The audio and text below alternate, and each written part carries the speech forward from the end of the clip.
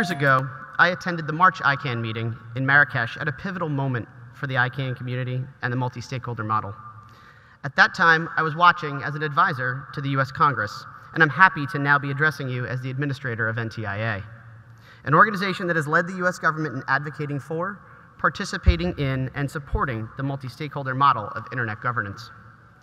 Let me be clear at the outset. The Trump administration has and will continue to strongly advocate for the multi-stakeholder approach to internet governance and policy development.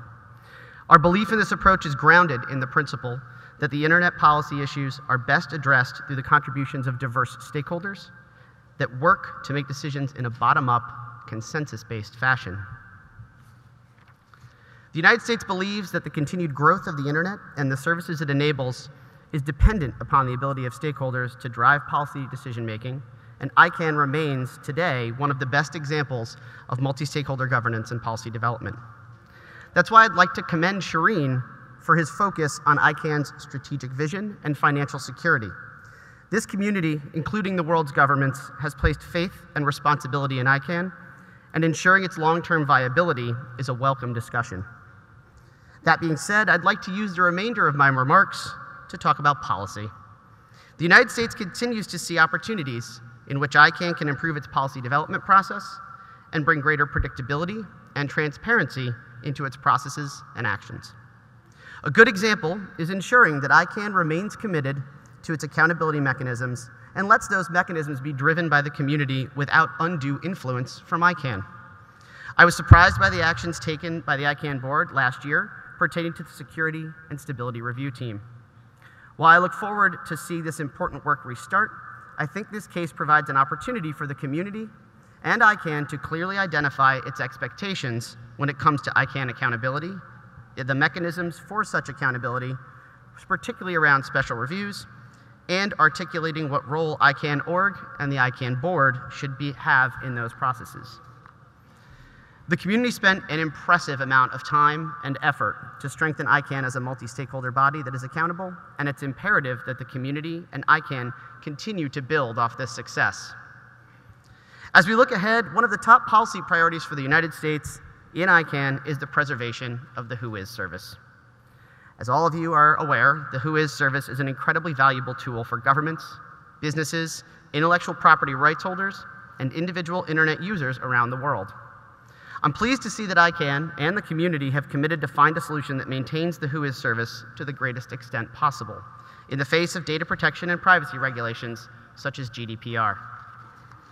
The United States and other governments in the GAC have stated their commitment to maintaining a WHOIS service that is quickly accessible for legitimate purposes. With respect to the recently published interim model, we're pleased that ICANN was able to pull from so many different interests and needs ex expressed by the community.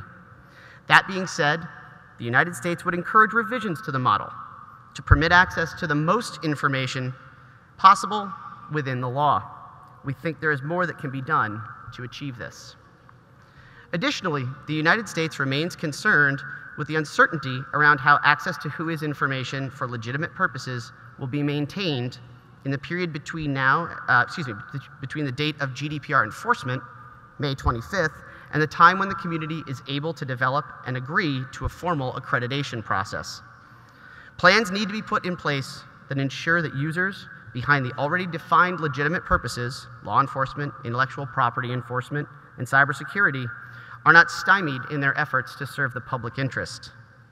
Moreover, as Göran noted, there remains great uncertainty as to how these proposed solutions will be received by the governments that established the GDPR.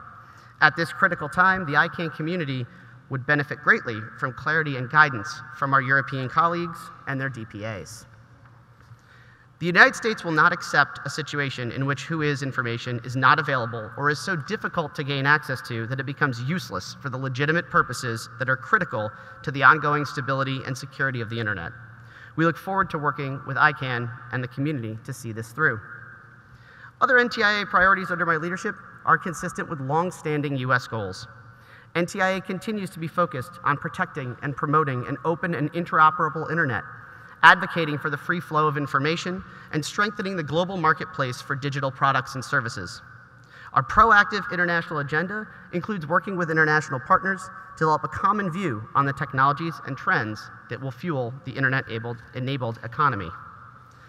This includes a commitment from me that NTIA will remain a strong participant in the ICANN model as the United States government representative to the GAC. In closing, I'd like to say that I'm personally inspired by the work that all of you do.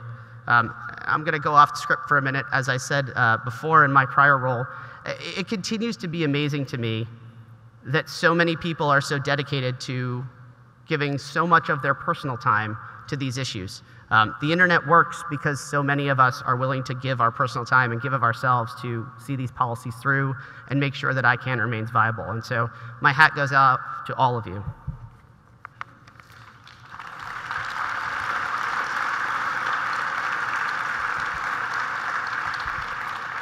The democratic principles at the heart of the multi-stakeholder model demand that no stakeholder's voice is more important than any others, and by working through consensus, we achieve our best results.